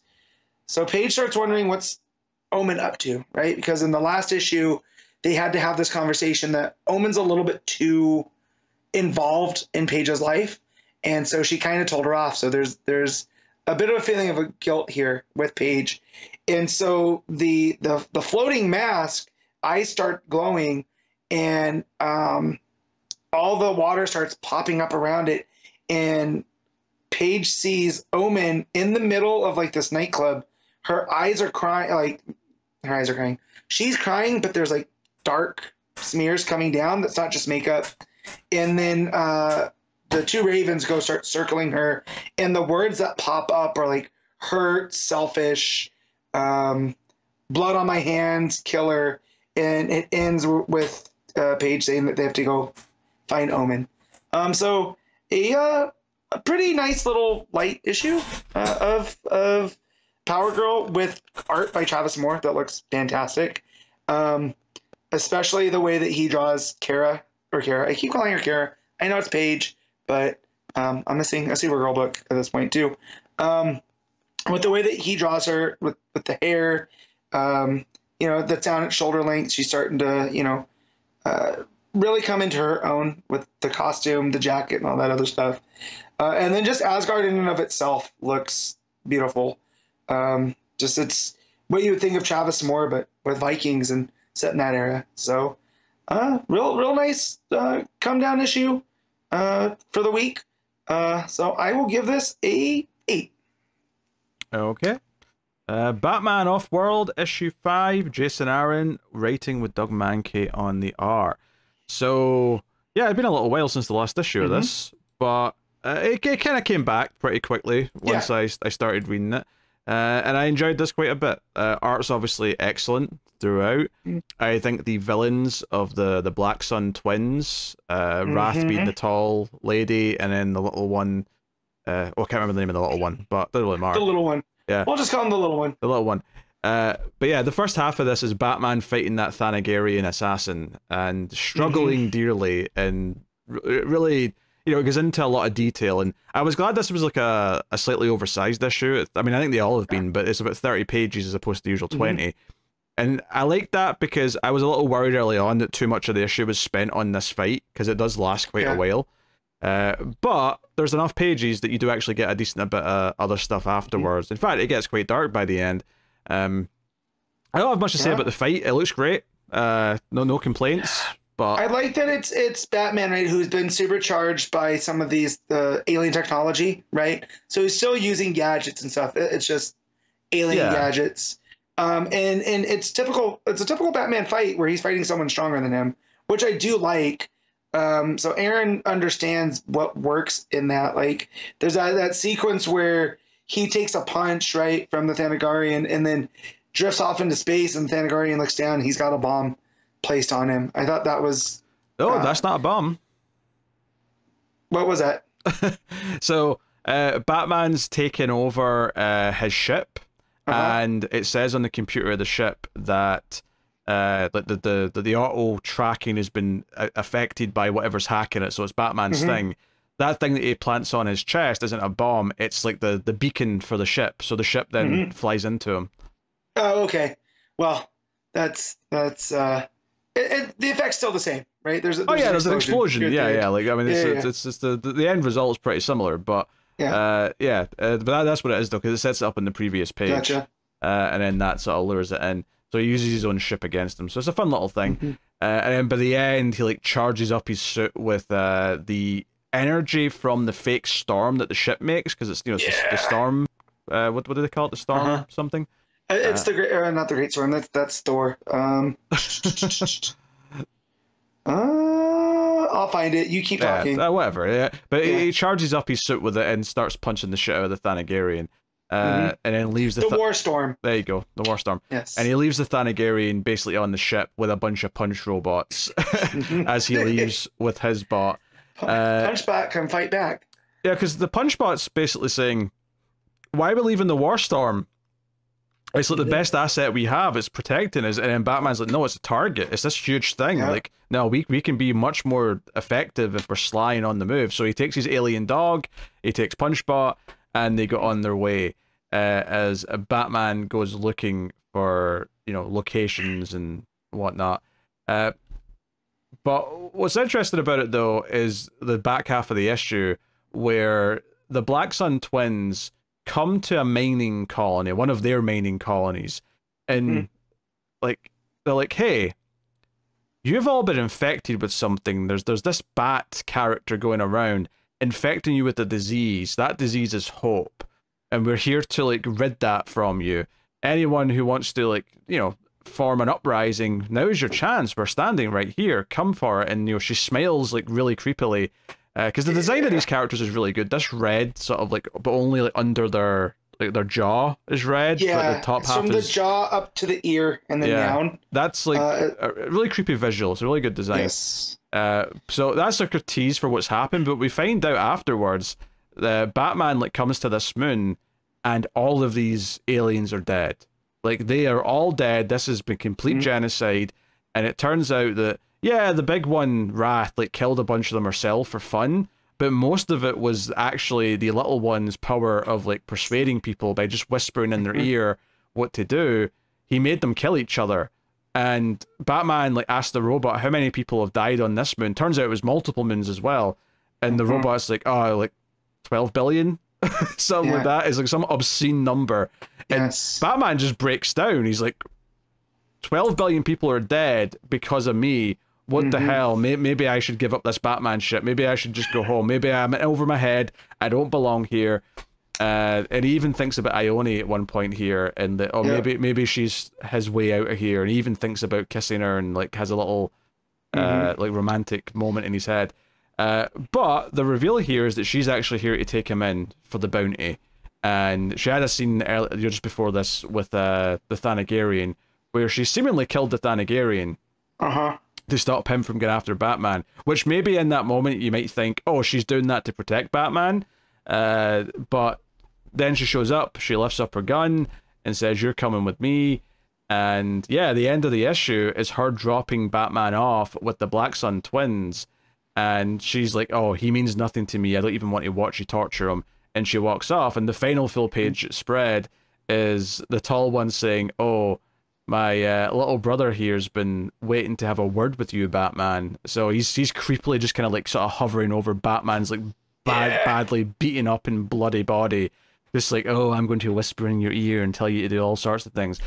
Uh, which you know, Batman having his control taken away is probably like the most torturous thing you could probably do Yeah. to him. So I, I see big, big outcomes from this. Uh, I guess the question I have for you, Matt, is like, does Ione have some kind of other plan or motive here, Mhm. or is she just turned heel? Is she just doing this No. because she wants to get the bounty? No, I think she's doing both. She's doing that thing where she's going to get the bounty and then she's going to turn around and turn on the Black Sun. So I feel like this is part of a plan um, that she's having. Because remember, she was a storm chaser, right? She was employed by them in the War Storm. So we don't. I can't remember if we got her full origin, right? Um, but I, I'm assuming they've done bad things and now, you know, uh, she's holding that. So I, I definitely think this is. I don't think she's turned full heel. Um, I think No, she'll. I mean- she'll be back around. I think it's entirely possible that we'll cut back to that scene where she lifted up her gun and we'll get like a whole conversation they had and that Yeah. Batman's even like agreed to this because it's a plan or something. Uh, maybe she gave him a pep talk and convinced him that he can change stuff by actually taking out the twins somehow. Yeah. Uh, but yeah, I mean, I did like how dark this got. I like that that these villains just Mhm. like killed an entire, you know, colonies worth of people, several colonies worth of people. And I the- mean, it's two Earths worth of people, right? We have about seven billion yeah, yeah. on Earth right but now. the, the idea that Batman Yeah. has to feel the weight of like, wait, Uh huh. my having like any kind of influence here caused this. They did Mhm. this to stamp out the idea that these people were starting to believe that they could rise up and maybe deserve better. And I am in some way responsible for that. And like seeing Batman struggle with that is actually kind of interesting and wild. Mhm. Um, it's almost like if in Superman War World saga, like if after Superman tried to convince everyone to like rise up from slavery, if Mongul just killed them all outright and said, "No, they're all dead now. What are you going to do now, Superman?" Yeah. What, what are you gonna do? Uh, So- this is what this is the price of hope. yeah. know? So Yeah. Uh, very curious to see. I, I mean, I'm impressed that despite how outrageous this story is, from like a oh Batman's in space and it's all these Mhm. aliens and stuff, how compelling that I've found most of it, and how much I like Ione, uh, how much I like the fact that the assassin was a Thanagarian, and these Mhm. villains, the Black Sun twins, are legitimately creepy and have a good bit of character to them. So. Uh, Yeah. yeah, despite the long delay between this and the last issue, I found myself quickly into this and really enjoying it by the end. Yeah. Well, that's kind of on par for most of the good Aaron work that I've read. He does this kind of stuff where he's able to come around and he can balance the darkness with the the more heroic aspects of the character. Because I don't know if you ever read Southern Bastards, uh, which was his creator owned. It, it got pretty dark at points, but he was always able to to dig out and remind us of why these characters are doing why uh, why they're doing what they're doing, and there's a more noble cause. Uh, and I feel like that's perfectly on display here, right? Is like, yeah, Batman feels the full weight of 12 billion lives, but Batman's gonna do what's right, you know. So there's not more that end up like that, because there's two kinds of evil, right? The, people that do it and the people that allow it. Uh, so, so yeah, and I, I feel like he's he's built this, uh, you know, a, a little Bat family in space, right? If we if what we're if what we think about Ione is true, right? This is just part of a plan. He's got that big wolf. He's got Punchbot. He's got her. So uh, I'm I'm assuming that she's also maybe rallying up the you know I mean, other that- people that are tired of the Black Sun. that's the hope, but like Yeah. you know, you can also read her. I you know, he means nothing to me. Is her being pissed that he rejected her before, That could be you true. because you know that's always a possibility. But you know, even without her, even just the the robot and the the, Yeah. the space dog, like Yeah. it already feels like he's built a little team. That said, though, Yeah. I do suspect the reason why she doesn't want to stay around and watch Mhm. is not because she either like will feel hurt by watching it or because she doesn't genuinely care. It's probably more that, that part of the plan is her to go and do something else while they're distracted Mhm. with Batman, right? That's the idea that they're, they're going to be focused on Batman so she can go and Mhm. mess with their systems, release someone else from a cell or something, whatever it may Mhm. be. But I suspect that there's a plan brewing here, and that's what's going on. So yeah, And well, we do know that Tamaranians do have a temper too. So Sure. you know, may, maybe it starts as that like, oh, I don't care, and it's just, uh, I can't leave him. That type of stuff too. But yeah, either way, uh, I was worried that I was going to have a hard time remembering a lot of that stuff, but it came right back. So that that's some good storytelling. yeah, no.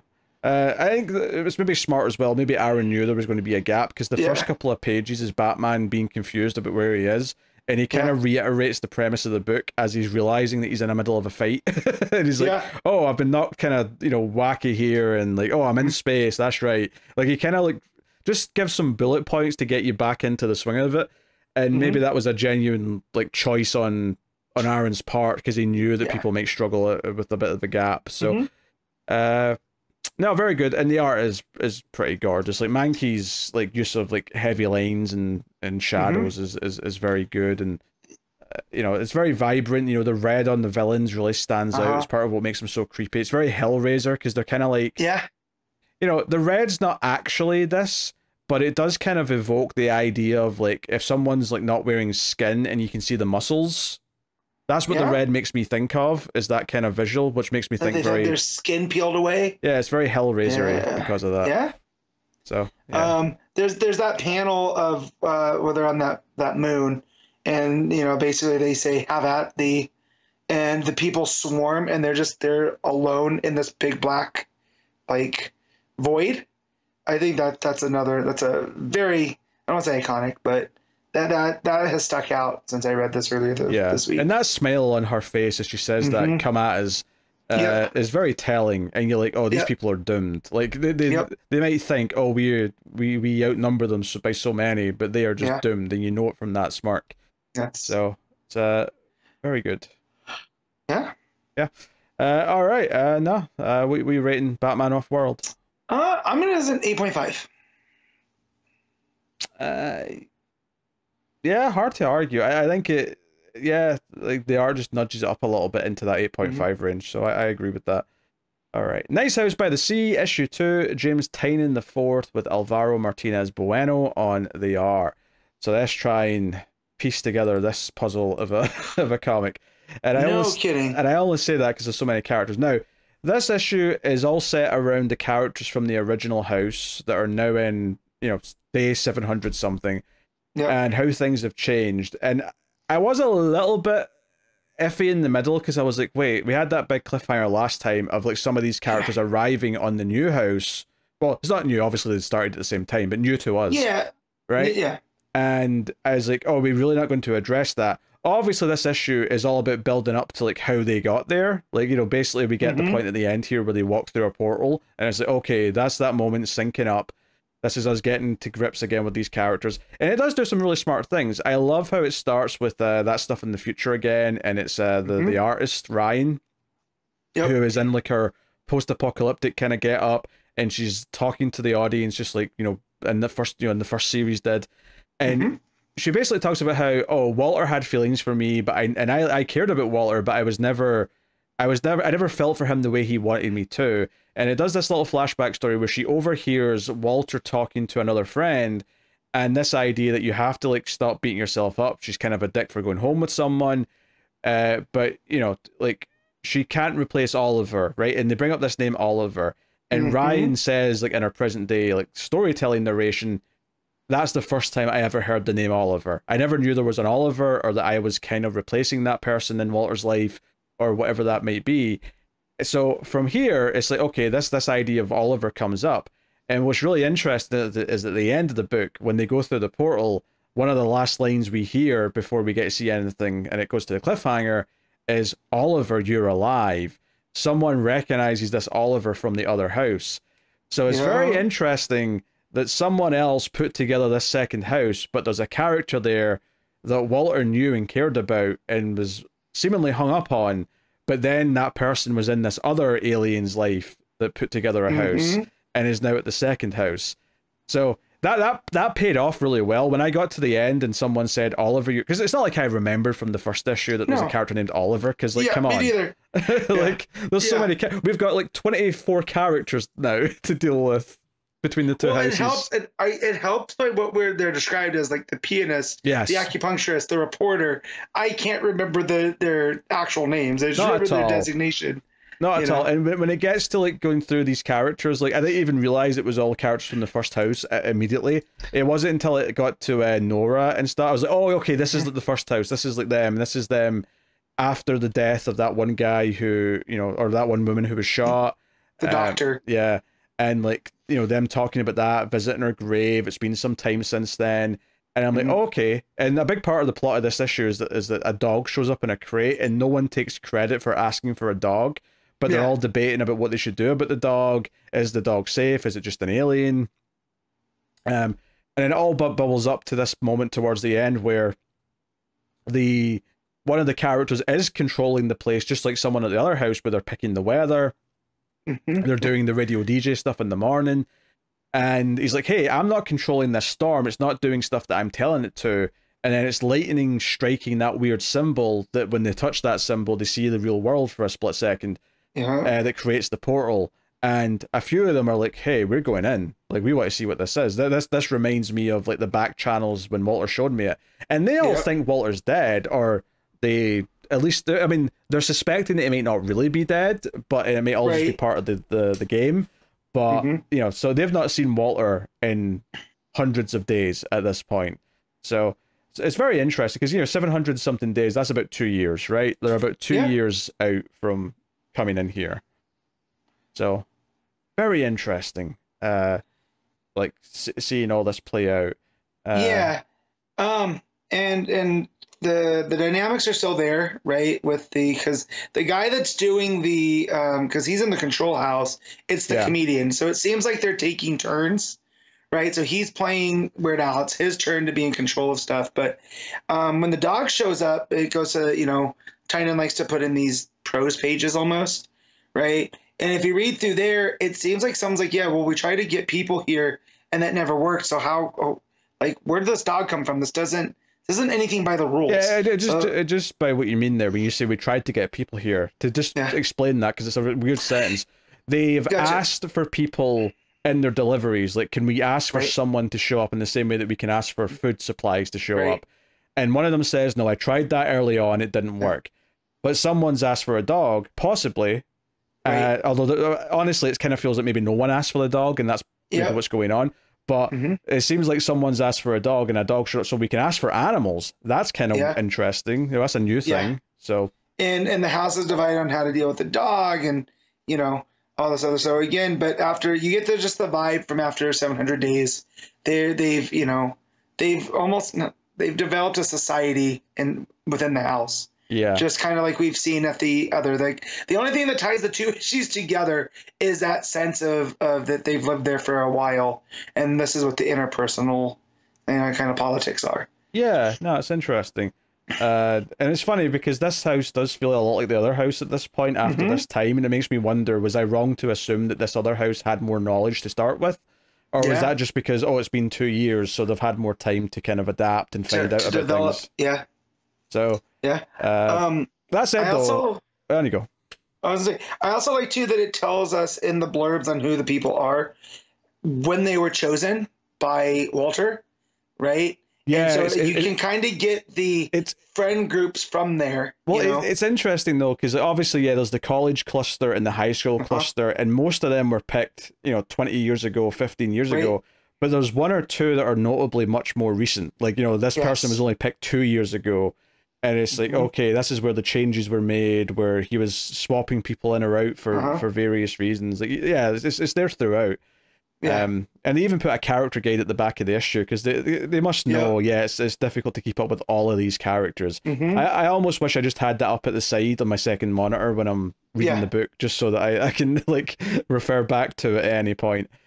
Uh, but yeah, no, it's it's all good, and it's this them kind of like accepting this dog, and some of them become kind of attached to the dog, and it's the dog that leads them out to the the the monolith because the dog was out during the storm.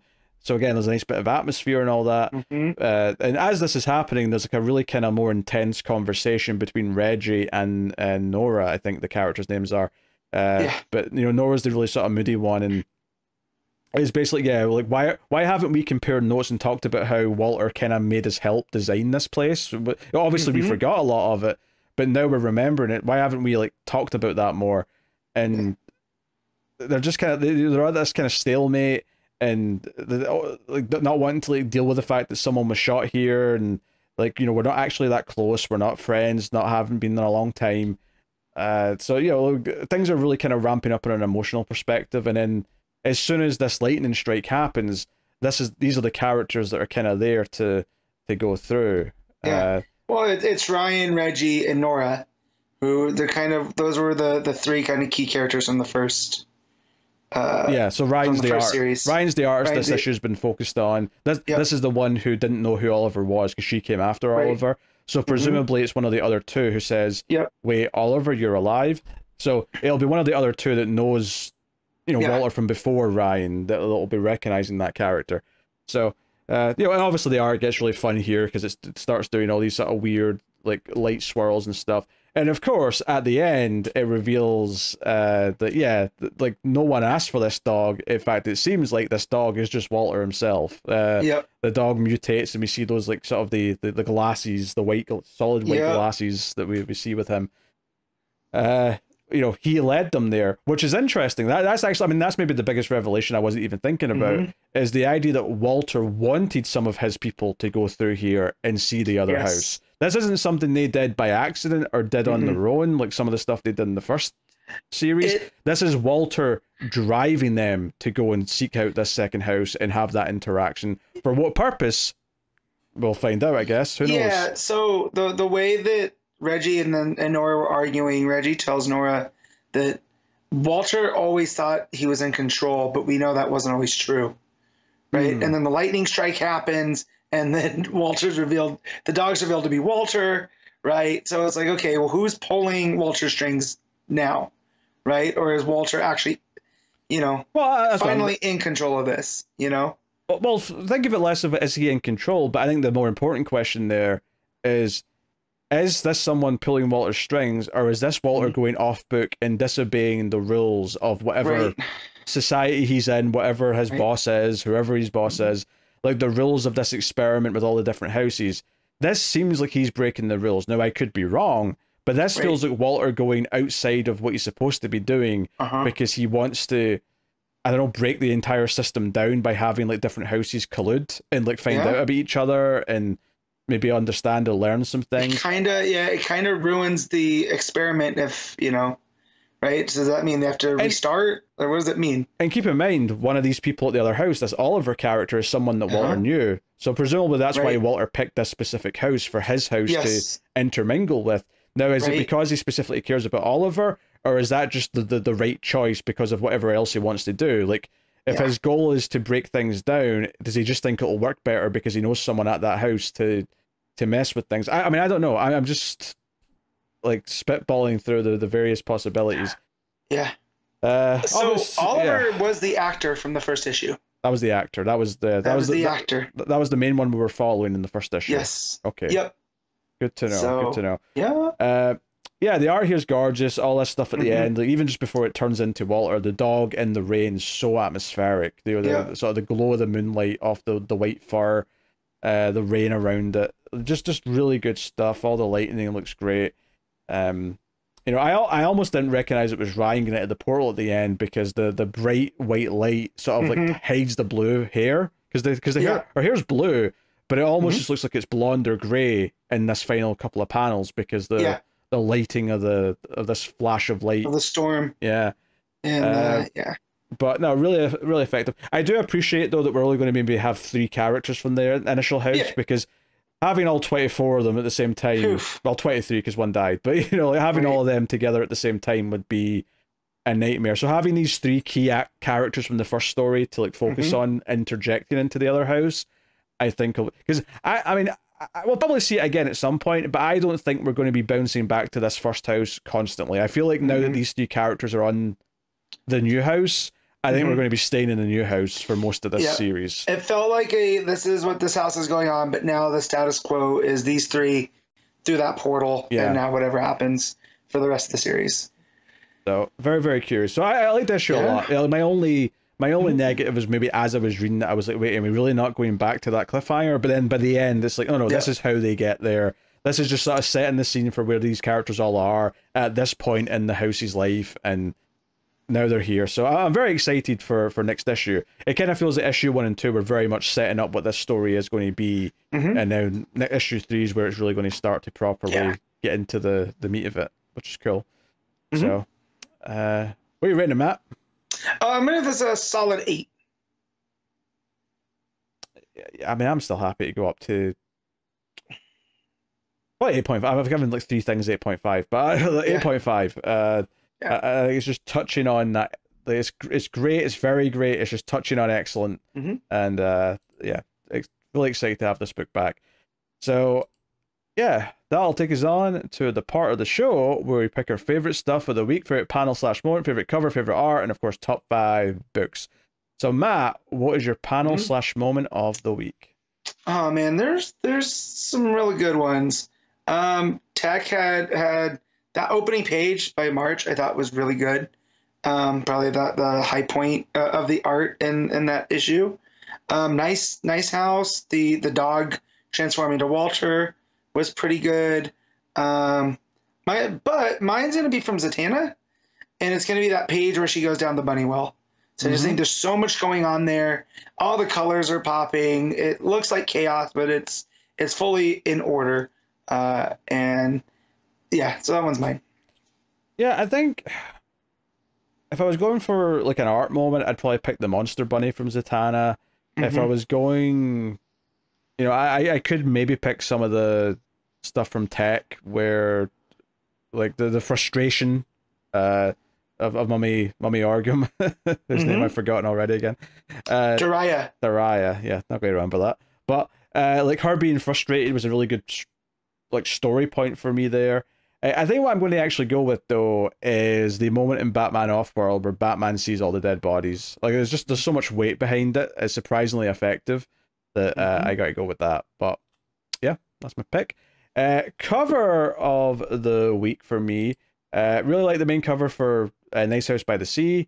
Um, I'm not one who usually gravitates towards the Tula Lotay covers as much as you and Connor do, but that Zatanna Mhm. one is pretty nice, I have to admit. Uh, I have to say though, Detective's got a couple of absolute bangers. Uh, hmm the uh, Mike Perkins cover, which is like just Batman going through like the rainy Gotham City with the yellow sort of lighting, is Yeah. just really simple but really effective. I love how just like it feels like a sea of buildings because they just go out of frame like above Batman, Yeah. so it just feels. And like, then the way that the cape is flowing with the rain lines, right? Yeah. Like, yeah, So- it looks real cool. That's awesome. As is the main cover with Mister Freeze with a snow globe. Uh huh. If I'm picking one though, I'm going to go with the Perkins cover for Detective. Okay. Uh, I think that's my that's my cover of the week. What you what you Yeah. got? Um, so I also want to bring up that uh, there is a Dan Mora off-world cover that's Oh, sure. got Batman, but it's not done with the traditional uh, Mora inks and colors. So it, uh, it almost looks like a like like the cover of a fantasy book, which I think works out really well for for that. So I wanted to mention that one. Um, you mentioned the the Zatanna one. I mean, all the Zatanna covers. The main cover. There's a Dodson uh, variant that looks like a poster for a magic show. Uh, that looks real good. But yeah, no, that Tula Lotay Zatanna cover, just perfect. The, the Yep. way that the blue and the, the orange in the background go together, the way she's standing there, the composition, everything is fantastic. Yeah. Uh, all right. Art of the week. Okay, so for me, this comes down to to Offworld, Zatanna, and Nice House. Uh, and I think I would agree with that being the the the contenders. Yeah. Yeah, so it just kind of where I feel. I I think though, for as good as Nice House was, um, I think I'm gonna give it to Zatanna just because of the we talked about the color work throughout and and how how they you know are are change the way they're telling the story as the story is being told, right? With the flats and, and all that other stuff. So there's a lot of good stuff in there. So yeah, it's tough because they're very different styles and they're both very effective in what they're doing. I think I'm just going to edge it out to Nice House by the Sea though, just because I think Mm-hmm. There's so much atmosphere in the style that that uh, Mhm. Uh, Alvaro Martinez Bueno is doing that I just I, I think I have to edge out to that, but it's very close uh, between that off world and Zatanna Mhm. uh, this week. But yeah, all right, top five books, Matt. All right, so one is going to be Zatanna. Uh, two is going to be Tech. Three is going to be Off World, Four is Nice House, and five is Power Girl. All right, uh, one for me. I think is Nice House by the Sea. 2 Batman Offworld. Three Zatanna. four detective. March is kind of the one pulling that down a little bit. It would be more of a fight if it wasn't. And then Yeah. five is just by default absolute power origins, which I did like though quite a bit still. So uh, good week, uh, despite it was a weird week of books in terms of what books we had because it's mostly side stuff. Uh, really good week uh, for quality though. So very consistent. So happy, happy all the same. Uh, all right, I'll tell you what's coming next week from DC Comics. We have Batman 152. We got Absolute Power issue 3. We got Poison Ivy 25. Birds of Prey 13. Justice Society of America 11. Whoa. So, yeah, we're almost done with that. Uh, the Boy Wonder issue 5, which I think is the final issue of that too. Mhm. Uh, we got the Penguin issue 12, Plastic Man No More issue 1, so we got a new number 1 to try. Uh, My Adventures with Superman 4, Batman Scooby Doo Mysteries, uh, the Trinity Special World's Finest 1, which is that just a reprint of backups again? Because they did that Yes. before. Yeah, Yep, it's the next. Fair it's enough. the next chunk of them. fair enough. Uh, So, yeah, uh, some Yeah. interesting stuff next week. Uh, the event issue should be fun. Birds of Prey and Mhm. Penguin have been excellent, and we'll see what that new Plastic Man mini's like. So, Yeah, yeah. so the Plasma Man one, that's that Christopher Cantwell book that got. uh I remember talking about it in solicits, so it's a black label. That should be fun. yeah, yeah, we'll check that out, see see how it is. Uh, but yeah, that is that, that is the show. Uh, also, I'll have some Patreon books next week as well. At least one. I may spread them out, but uh, yeah, I would have done one this week. But as I said, we started an hour late, and uh, I am starving. So thank you for joining us, everyone. You can of course support the show over at Patreon.com/slash MildFuzzTV. Helps out to keep the podcast coming, as well as all the other content that I do at MildFuzz Movies and MildFuzz TV. But uh, check out that, and uh, of course you can like, subscribe on YouTube, share the podcast out. Any of these things is a big help and Mhm. uh, keeps the show alive and going. But uh, that is it. So thank you very much for joining us. We do appreciate it. Keep reading DC Comics, and remember to never get lost in the Speed Force.